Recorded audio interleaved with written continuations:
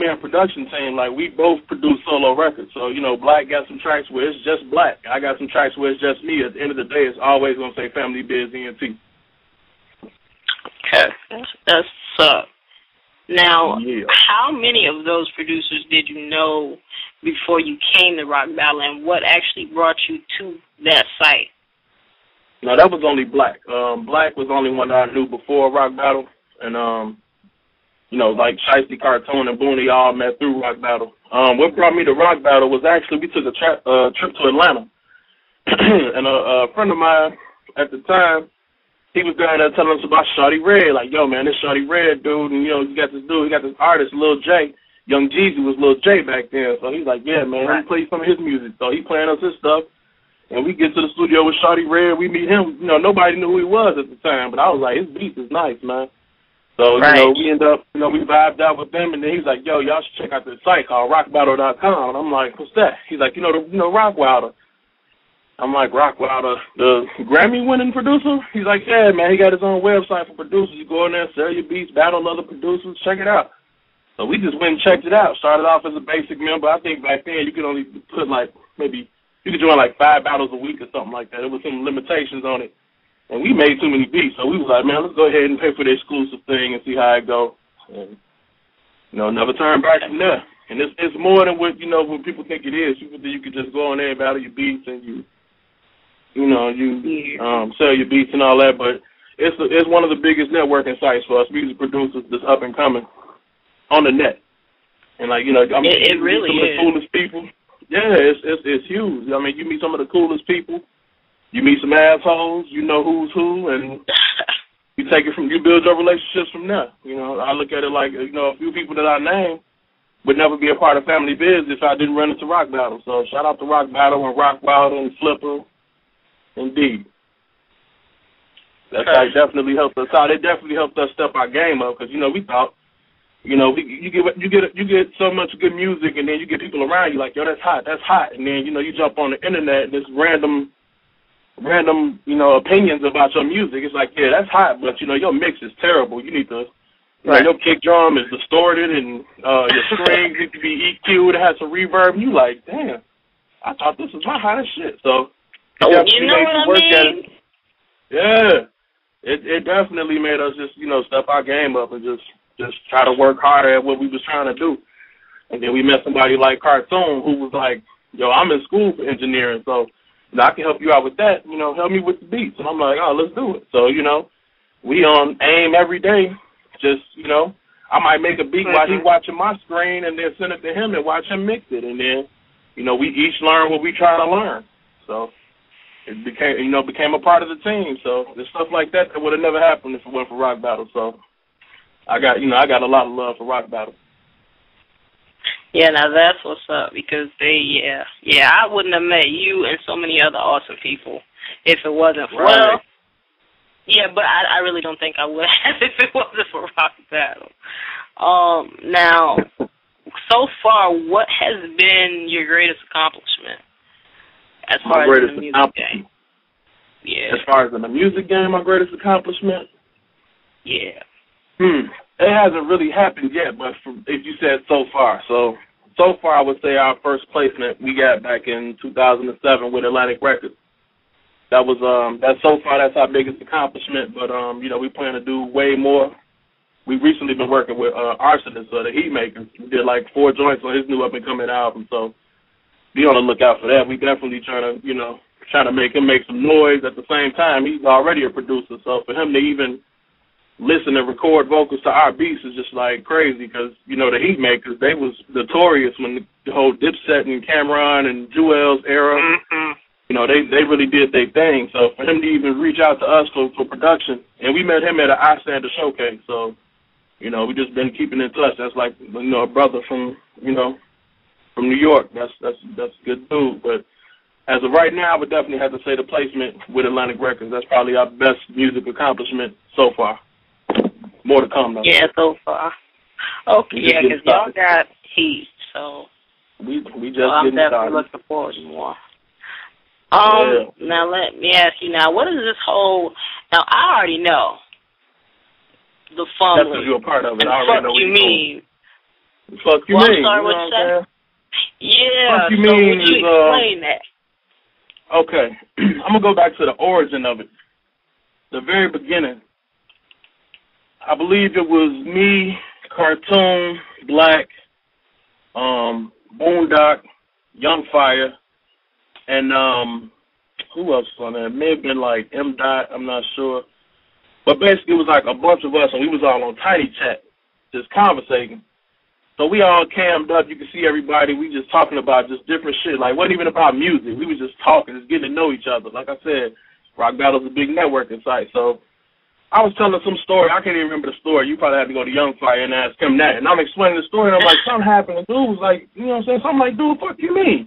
And Young Fire started crying. Like, he just, he was laughing for like 10 minutes straight. He just couldn't stop. Like, the conversation continued to continue because Young Fire wouldn't stop laughing. So he was like, yo, you should use that. You should use that. And I was like, I say this shit all the time. You know, fuck you mean? That's that's my shit. I've been saying that. It's I mean, people people it's starting to spread. I've been like in the mall and it's heard, fuck you mean? I've seen it in movies now. I'm like, damn, this shit blew up bigger than I thought. You know, but you know, it started from there and then you know it went on to you know you Phoenix Star. We got Bill Biggs, Lady Lyric.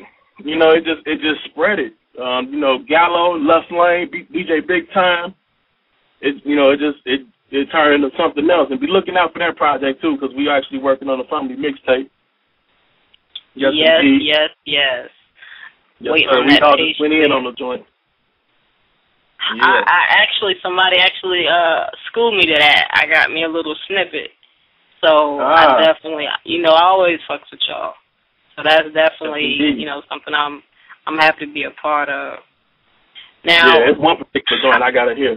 I haven't heard the final copy of it with uh Oh, Lady okay. On the okay. chorus, but I I I gotta hear I gotta check that out. So, but yeah, that mixtape is gonna be big, and um, like I, so many so many talented people involved with it. You know, you can't even be mad at it. It's it's just gonna smack people in the face, and I'm just glad to be a part of it. You know what I mean? Yeah, it's gonna be huge, huge, huge from what I hear. Now, Plan. what do you think sets you your your you know sets your whole crew and yourself apart from everybody else's in the music game or in the production game right now? Um, probably the fact I can answer that quick. I, everybody's in their own lane. Like everybody, everybody is dope in their own respect. Like everybody can really lead their own movement or their own team, but everybody, you know, just kind of put their egos and everything aside and just like let's let it be about the music. You know what I'm saying? We're gonna collaborate on something, let's do it. If not, let's do it. Everybody keep their movements going, but we still the family. You know what I'm saying? We, you know, that's pretty much it. We mm-hmm. all family. We look at it like we all going for the same goals. Everybody's trying to get from that up and coming producer to that that super producer status or that you know that that mm-hmm. household name in the industry. So it's like we all working on the same things. If you if somebody needs some of my help and they in my crew, it's nothing. It's it's it's nothing. If I got it, you got it. And same, you know, same vice versa with everybody else. They all feel the same way, and it's people that I actually network with and talk with. Like, it's not a person in the crew that I don't talk to. And if it is, then I kick them out. It's as simple as that. if I don't conversate with you, you're gone. It's like you gotta go.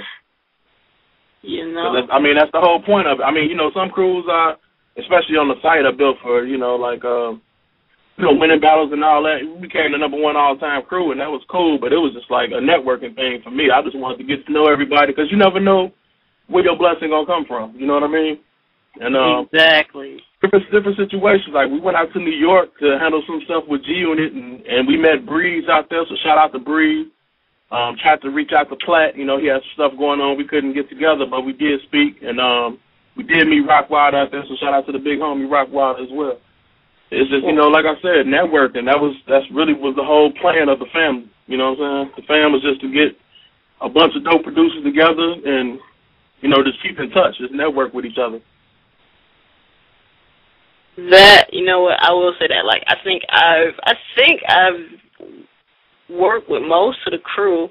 There's some people I'm mm-hmm. still you know getting to know because I've been kind of Yeah. MIA. But you know you have Yeah. like you know the crew is well rounded.